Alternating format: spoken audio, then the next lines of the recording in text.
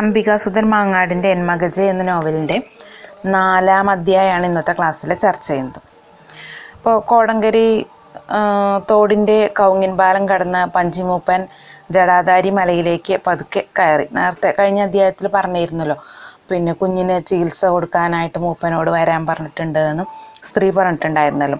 അപ്പോൾ മൂപ്പൻ വരികയാണ്. മൂപ്പന്റെ പേരാണ് പഞ്ചിമൂപ്പൻ. പോറ്റേടി പാതയിലെ മഞ്ഞ ചേരകൾ പോലെ പോക്കുവെയിലിന്റെ പൊൻവെളിച്ചം അങ്ങനെ പരന്നു കിടക്കുന്നുണ്ട്. വടികുത്തി ഭൂമിയോളം കുനിഞ്ഞ വൃദ്ധശരീരവുമായിട്ട് പക്ഷെ ഒട്ടും കിതപ്പില്ലാതെയാണ് പഞ്ചിമൂപ്പൻ അങ്ങനെ കുന്നുകയറിയത്. പഞ്ചിമൂപ്പന്റെ മൂപ്പന്റെ പ്രായം പറഞ്ഞിട്ടുണ്ടായിരുന്നു. നൂറ് വയസ്സിൽ കൂടുതലുണ്ട് എന്ന് പറഞ്ഞിട്ടുണ്ടായിരുന്നല്ലോ. പത്തിരുന്നൂറ് വയസ്സ് എന്നാണ് സ്ത്രീ അതിനെക്കുറിച്ച് പറഞ്ഞത്. അപ്പോൾ എന്നിട്ടും അയാൾക്ക് ക്ഷീണമൊന്നുമില്ല എന്ന് പറയണം. അപ്പോൾ കുറച്ചുകൂടി ഉയരം പിന്നിട്ടപ്പോൾ ആ വീടായി. പുരുഷനും സ്ത്രീയും താമസിക്കാനെത്തുന്നവരെ ആൾ താമസമില്ല. താമസിക്കാനെത്തുന്നത് വരെ ആൾ താമസമില്ലാതെ കാട് മൂടി കടന്നിരുന്ന ഒരു സ്ഥലമാണത്. അപ്പോൾ വീടിന് പിന്നിലെ ജടാധാരി മല ആകാശത്തിലേക്ക് അങ്ങനെ ഗംഭീരമായിട്ട് എറിച്ചു നിൽക്കുന്നുണ്ട്. മലയിലെ കൊടുങ്കാട് നിറയെ ജടാധാരിയുടെ സർപ്പങ്ങളാണ്. പെൺമകജയുടെ വിശ്വാസവും അനുഭവവും ഒക്കെ അങ്ങനെയാണ്. കൂടാതെ ആരാധനയൊന്നുമില്ലാതെ അഞ്ചാറ് കാവുകൾ മലമുകളിൽ മുഖ്യം ജടാധാരി കാവ് തന്നെയാണ്. കാവുകൾക്ക് അപ്പുറത്ത് കൽപ്രതിഷ്ഠകളുണ്ട്. പക്ഷേ എല്ലാം കാടുമൂടി പോയ നിലയിലാണ്. അപ്പോൾ അവരുടെ മുമ്പുണ്ടായിരുന്ന കുറേ വിശ്വാസമാണ്. ജടാധാരി മലയും അവിടുത്തെ സർപ്പങ്ങളൊക്കെ. അപ്പോൾ ഏതോ കാലത്ത് എന്മകജയുടെ ആരാധന കേന്ദ്രമായിരുന്നിരിക്കണം ഈ മലയും കാവുകളൊന്ന് കാവുകളെന്ന് നമ്മുടെ കഥാകാരൻ ഇങ്ങനെ സൂചിപ്പിക്കുകയാണ്. പിന്നെ ഭയന്ന് മനുഷ്യരാരും ജടാധാരി മല കയറാതായി. എന്മകജയിലെ മൊകയന്മാരായ വൈദ്യന്മാർ മാത്രമാണ് കാലാകാലങ്ങളിൽ ഔഷധ പേരുകളൊക്കെ തേടിയിട്ട് സർപ്പമലയിലും ജടാധാരി മലയിലും ഒക്കെ യഥേഷ്ടം അലഞ്ഞു നടക്കാറുള്ളത്. ഒരിക്കലും ജടാധാരിയുടെ സർപ്പങ്ങൾ അവരോട് ഒരിക്കലും സർപ്പങ്ങൾ ആ, വൈദ്യന്മാരോട് കോപിച്ചിട്ടില്ല.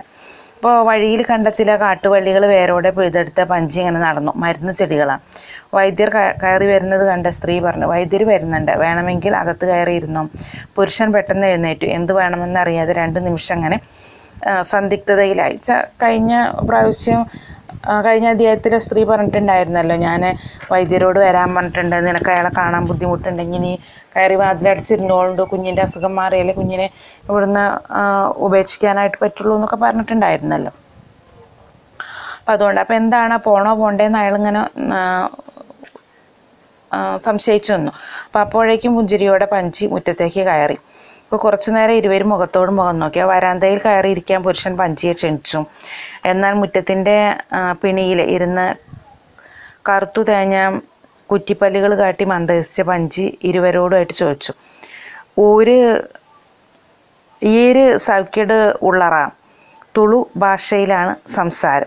അപ്പോൾ പഞ്ചി ചോദ്യം ആവർത്തിച്ചോ പുഞ്ചിരിയോടെ ഇരുവരും തലയാട്ടി സ്ത്രീ പറഞ്ഞു അതേ സുഖമാണ് പക്ഷെ വൈദ്യരുടെ ഭാഷ ഞങ്ങൾക്ക് വേണ്ടത്ര മനസ്സിലാകുന്നില്ല. പുരുഷൻ സ്ത്രീയോട് പറഞ്ഞു വൈദ്യരെ ഞാൻ രണ്ട് മൂന്ന് പ്രാവശ്യം കണ്ടിട്ടുണ്ട്. മുകളിലെ ചൂരൽക്കാട്ടിൽ പക്ഷെ സംസാരിച്ചിട്ടില്ല. അപ്പോൾ പഞ്ചി പരിചയം ഭാവിച്ചു ഞാനും കണ്ടെത്തുന്നുണ്ട്. താമസം എവിടെയാണെന്ന് പുരുഷൻ ചോദിച്ചപ്പോൾ ദൂരെയില്ല. കോ- കോടങ്കരി കുന്നിലേക്ക് ആ, പഞ്ചി വിരൽ ചൂണ്ടി. മൊഗേരു മൊകേരുടെ വീടുകൾ മാത്രമാണ് കോടങ്കരിക്കുന്നിലുള്ളത്. അവിടുത്തെ മൂപ്പരാണ് പഞ്ചി. വീടുകൾക്കിടയിലെ താഴ്വാരത്തിലെ വലിയൊരു കാവുണ്ട്. ആ കാവിൽ നിന്നാണ് കോടങ്കരി തോട ഉത്ഭവിക്കുന്നത്. പങ്കരാജ എന്നാണ് ആ സ്ഥലത്തിന്റെ പേര്. തോട് വളഞ്ഞു പുളഞ്ഞ് ഒഴുകി വന്ന് ജടാധാരി മലയെ വലം വെച്ച് നാടു ചുറ്റി ഒടുവിലെ ഷിറിയ പുഴയിൽ ചേരുകയാണ് ചെയ്യുന്നത്. അപ്പോൾ ആ ഒരു പ്രദേശത്തെക്കുറിച്ചുള്ളൊരു വിവരണമാണ് അവിടെ തന്നത്. അപ്പോൾ കോടങ്കരി കുന്നും അതേപോലെ ജടാധാരി കുന്നും കോടങ്കരി കുന്നിലാണ് അവിടുത്തെ വൈദ്യന്മാരൊക്കെ തന്നെ താമസിക്കുന്നത്. അപ്പോൾ അവരുടെ മൊകേരുക്കൾ എന്ന് പറഞ്ഞാൽ വൈദ്യന്മാരാണല്ലോ. മുമ്പ് പറഞ്ഞിട്ടുണ്ട്. അപ്പോൾ അവരുടെ മൂപ്പനാണ് പഞ്ചിന്ന് എന്ന് പറയുന്ന ആൾ അപ്പോൾ ഏതായാലും അപ്പോൾ ആ കോടങ്കരിക്കുന്നിൽ നിന്ന് ഒഴുകുന്ന തോടാണ് ഈ ജടാധാരി മലയുടെ അടുത്തു കൂടി പോകുന്നത്. അപ്പോൾ ചായപ്പിൽ നിന്നും കുഞ്ഞിനെ കൊണ്ടുവന്ന് സ്ത്രീ പഞ്ചിയുടെ മുമ്പിൽ കിടത്തി. അപ്പോൾ കുഞ്ഞിനെ പഞ്ചി സൂക്ഷിച്ചു നോക്കി. അയാളുടെ നരച്ച പുരികങ്ങൾ വളഞ്ഞു. പതുക്കെയും കറുത്ത ചുണ്ടുകൾ മലർന്നപ്പോൾ ചുവന്ന ഒരു ചിരി പ്രത്യക്ഷമായി സ്ത്രീയെയും കുഞ്ഞിനെയും മാറി മാറി നോക്കിയ ശേഷം പഞ്ചി അത്ഭുതപ്പെട്ടു. ഈ ആണകോ സൗഖ്യാദാനതണ് സ്ത്രീ തലയാട്ടി. അതേ വൈദ്യരെ ഇവനാണ് അസുഖം. പഞ്ചിയുടെ ചിരി ഒന്നും കൂടി രൂക്ഷായി. എന്നിട്ട് പറഞ്ഞു ഈ സീക്കിങ്കേന്റെ കൈത്ത് മറന്നില്ല. പഞ്ചി ഉച്ചരിച്ചതിന്റെ അർത്ഥം സങ്കല്പിച്ചുകൊണ്ട് സ്ത്രീ വീണ്ടും അപേക്ഷിച്ചു. അയ്യോ വൈദ്യരെ ഞങ്ങളെ കൈയൊഴിയരുത്. എങ്ങനെയെങ്കിലും കുഞ്ഞിന്റെ അസുഖം മാറ്റിത്തരണം. അപ്പോൾ കൈമലർത്തി തുളുവും മല മലയാളവും കലർന്ന ഭാഷയിൽ പഞ്ചി ഇങ്ങനെ പറഞ്ഞു. ഈ ബാലക രക്ഷ ഇതി. അഞ്ചു വർഷം ഞാൻ ഈ ബാലനിക്ക് മറന്നാക്കീന്. ഈന് സ്വകാവിയില്ല. അപ്പം അഞ്ചു വർഷമായി ഞാൻ ഇവനെ ചികിത്സിച്ചുകൊണ്ടിരിക്കുന്നു. ഇവൻ എന്തായാലും അസുഖം മാറില്ല എന്നാണ് പഞ്ചിയുടെ സംസാരം. പുരുഷനും സ്ത്രീയും പരസ്പരം വിളിച്ചു നോക്കി. പഞ്ചി പറഞ്ഞത് അവർക്ക് വിശ്വസിക്കാനായില്ല. അഞ്ചു വർഷം ഈ കുഞ്ഞിനെ ചികിത്സിച്ചു എന്ന്. സ്ത്രീ ചോദിച്ചു ഈ കുഞ്ഞിനെ ഒരു വയസ്സല്ലേ ഉണ്ടാവും? പക്ഷേ വൈദ്യർ പറഞ്ഞത് ഗൗരവത്തിൽ ആണ് പഞ്ചി അപ്പോൾ ഉത്തരം പറഞ്ഞത്. ഇത് ചങ്കിന് വെള്ളിയിട്ട ഏലേന്റെ കടാവല്ലേ ഈന് ആറ് ഏഴ് വർഷം പ്രായമുണ്ട് ബൽദാവാഞ്ഞിട്ടാണ് അപ്പോൾ പഞ്ചി പറഞ്ഞത് ഇത് ചങ്കിന് വെള്ളിയിട്ട ഏലേന്റെ കിടാവല്ലേ? അതായത് കഴുത്തിനെ വള്ളിയിട്ട് ആത്മഹത്യ ചെയ്ത ആളുടെ ആ കുട്ടിയല്ലേ എന്നാണ് ചോദ്യം. അപ്പോൾ ഇത് ഇവനൊരു ഏഴ് വയസ്സെങ്കിലും ഉണ്ടാവും വലുതാവാഞ്ഞിട്ടാണ് എന്ന് പറഞ്ഞു.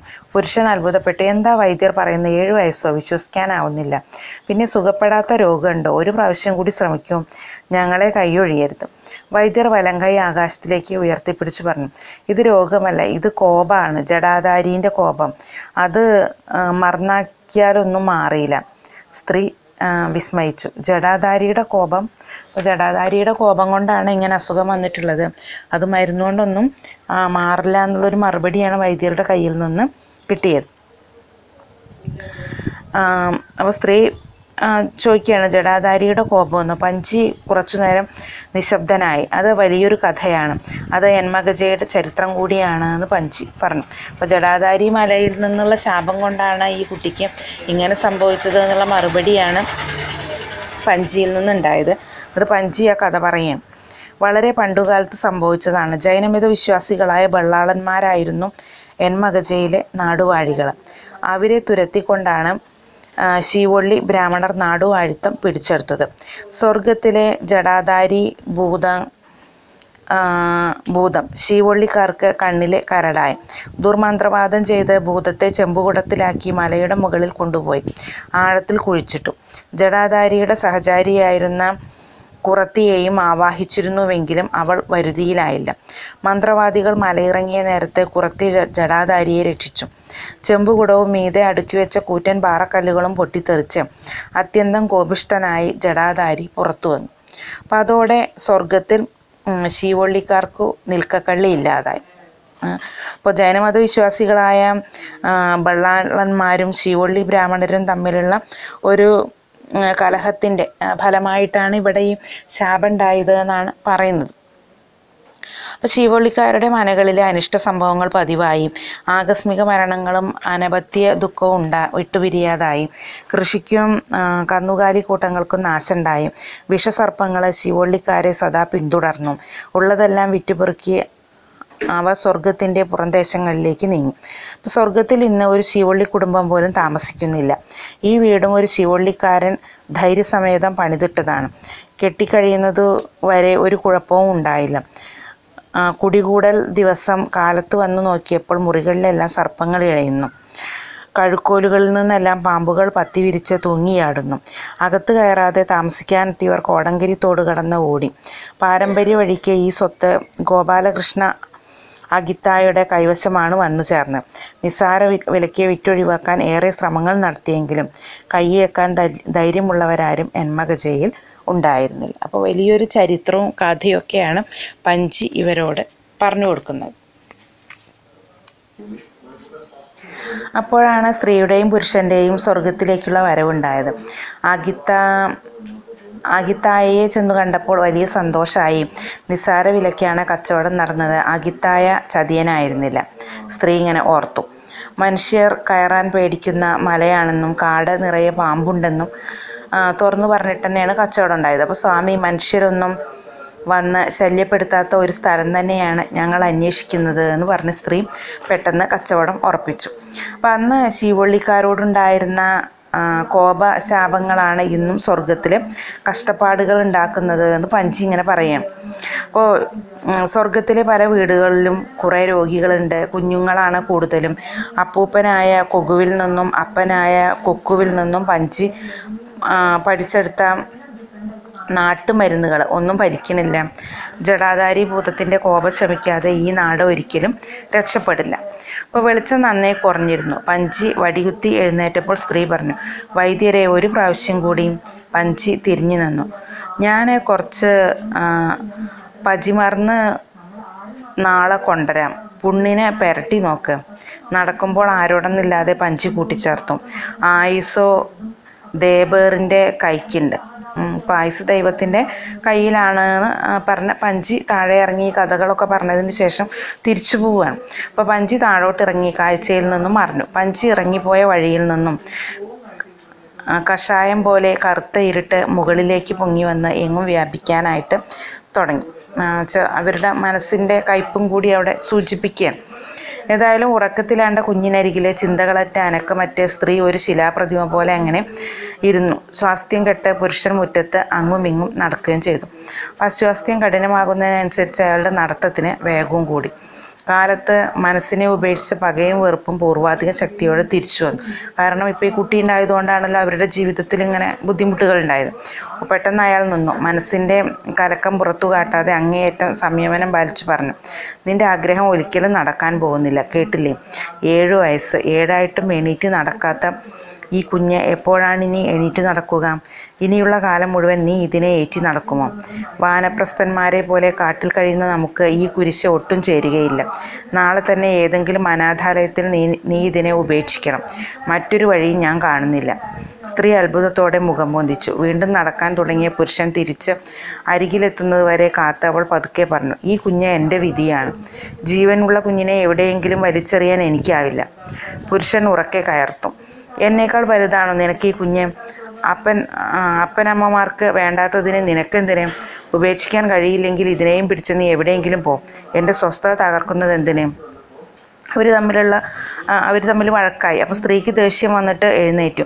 ആ ഞാൻ എന്തിനു പോകണം? ഈ വീട് എന്റെ സമ്പാദ്യമാണ്. നിനക്ക് സ്വസ്ഥത വേണമെങ്കിൽ നീ പോന്ന് പറഞ്ഞു. അപ്പോൾ പുരുഷനെ നിയന്ത്രിക്കാനായില്ല. കൈ ഉയർത്തി അലറിക്കൊണ്ട് അവളുടെ നേർക്ക് അയാൾ ചാടി വീണു. നീ എന്നോട് കണക്ക് പറയുന്നോടി. കൂത്തിച്ചി. നീ ആലോചിക്കുക ഞാൻ എന്തിനെല്ലാം കണക്ക് പറയേണ്ടി വരുന്നു. അപ്പോൾ സ്ത്രീ നെഞ്ചു വിരിച്ചു നിന്ന് ഒട്ടും പതർച്ചല്ലാതെ ദേഷ്യപ്പെട്ട് സംസാരിക്കാനായിട്ട് തുടങ്ങും. എന്താ അടിക്കാത്തത്? കൊതിച്ചി വേശി അല്ലേ? നീ തന്നെ പറയണം. അതെ ഒരു കാലത്ത് ഞാൻ അങ്ങനെ ജീവിച്ചു. അന്നുണ്ടായ ഇത്തിരി സ്വർണം കൊണ്ടാണ് ഈ വസ്തു വാങ്ങിച്ചത്. അത് മറന്നു. പിന്നെ ഞാനെന്തിന് ഇറങ്ങിപ്പോകണം? നിനക്ക് സ്വസ്ഥത വേണമെങ്കിൽ മുകളിലെ ഏതെങ്കിലും കാവിൽ ചെന്ന് തപസ്സിരിക്കും. ഒരു പിഞ്ചു കുഞ്ഞിനെ സഹിക്കാൻ കഴിയാത്ത നിനക്ക് എവിടെ പോയാലും സ്വസ്ഥത കിട്ടില്ല. ജീവനുള്ളിടത്തോളം ഈ കുഞ്ഞിനെ ഞാൻ പോറ്റും. അതിന് നിന്റെ അനുവാദമൊന്നും എനിക്ക് ആവശ്യമില്ല സ്ത്രീയും പുരുഷനും തമ്മിൽ വഴക്കായി. പുരുഷനാകെ തരിച്ചുപോയി. അവളുടെ വാക്കുകൾ കൂർത്ത അസ്ത്രങ്ങൾ പോലെ ഉള്ളിലാകെ തറച്ച് ചോര കിനിയുന്നത് അയാൾ അനുഭവിച്ചു. ചില പിണക്കങ്ങൾ ഉണ്ടായതല്ലാതെ ഇത്ര മൂർച്ചയുള്ളൊരു കലഹം മുമ്പ് അവർ തമ്മിൽ ഉണ്ടായിട്ടില്ല കുഞ്ഞിനെ ഉപേക്ഷിക്കുകയില്ലെന്ന് എത്ര ഉറപ്പിച്ചാണ് അവൾ പറഞ്ഞത്? പുരുഷൻ വിചാരിച്ചു. ഇനി വേറെ വഴിയൊന്നുമില്ല. ഒന്നും മിണ്ടാതെ പുരുഷൻ വരാന്തയിലേക്ക് കയറി. ജനൽപ്പടിയിൽ നിന്നും മടക്കത്തി എടുത്ത് അരയിൽ ചേർത്തി മുറ്റത്തേക്ക് ഇറങ്ങി. സ്ത്രീയുടെ നേർക്ക് അയാൾ നോക്കിയതേയില്ല കുഞ്ഞിനെ എടുത്ത് വരാന്തയിലേക്ക് കയറാൻ തുടങ്ങിയ സ്ത്രീയും അയാളെ കണ്ടതായിട്ട് ഭാവിച്ചില്ല. തിരിഞ്ഞു നോക്കാതെ പുരുഷൻ മുറ്റം കടന്നു. അയാൾ ഏതു വഴിക്കാണ് എന്ന് ശ്രദ്ധിക്കാതെ കുഞ്ഞിനെയും കൊണ്ട് സ്ത്രീ മുറിക്കകത്ത് കയറി വാതിൽ കൊട്ടിയടച്ചു. അപ്പോൾ തനിക്കൊപ്പം ഉയരം വെച്ച താൻ നട്ടു വളർത്തിയ ആര്യവേപ്പുകൾക്കിടയിലൂടെ ഇരുട്ടിൽ അലിഞ്ഞു തുടങ്ങിയ കാട്ടുമരങ്ങൾക്കിടയിലൂടെ മുട്ടോളം കരിയിലകളിലൂടെ നടന്നു കിടന്ന് പുരുഷൻ കാട്ടിൽ മറന്നു. അങ്ങനെ സ്ത്രീയും പുരുഷനും ഒരു പ്രാവശ്യം കുഞ്ഞിന് വേണ്ടി വഴക്കടിച്ചു. വീണ്ടും സ്ത്രീ പുരുഷനെ തിരിച്ചു വിളിച്ചു പക്ഷേ ഇപ്പോൾ കുഞ്ഞിനെ ഉപേക്ഷിക്കാൻ ഒരിക്കലും കഴിയാത്ത ഒരവസ്ഥ വന്നപ്പോഴും പുരുഷൻ അതിനെ ഉപേക്ഷിക്കാൻ സ്ത്രീയോട് പറഞ്ഞപ്പോൾ അവൾ അതിന് സമ്മതിക്കുന്നില്ല. അവൾ പുരുഷനോട് നിനക്ക് പറ്റുന്നില്ലെങ്കിൽ പൊയ്ക്കൊള്ളാനാണ് പറയുന്നത്. അപ്പോൾ അവരുടെ ജീവിതത്തെക്കുറിച്ചുള്ള കുറേ സൂചനകൾ അവിടെ തരുന്നുണ്ട്. ഒരിക്കൽ അവൾ വേശിയായിട്ട് ജീവിച്ചതായിരുന്നു. അവളുടെ അടുത്തുണ്ടായിരുന്ന കുറച്ച് സ്വർണം കൊണ്ടാണ് ഈ വീട് വാങ്ങിയത്. തുടങ്ങിയിട്ടുള്ള കാര്യങ്ങൾ അവിടെ കഥാകൃത്ത് നോവലിസ്റ്റ് സൂചിപ്പിക്കുന്നുണ്ട്. അപ്പോൾ അതോടുകൂടി പുരുഷൻ എന്തായാലും സ്ത്രീ സ്ത്രീയോട് ദേഷ്യപ്പെട്ട് കാട് കയറുന്നത് വരെയാണ് നാലാമത്തെ അധ്യായം.